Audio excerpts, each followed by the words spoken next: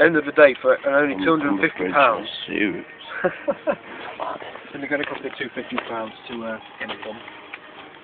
I think it's worth it, mate. It might